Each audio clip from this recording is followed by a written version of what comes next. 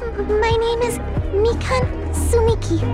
Um, from the bottom of my heart,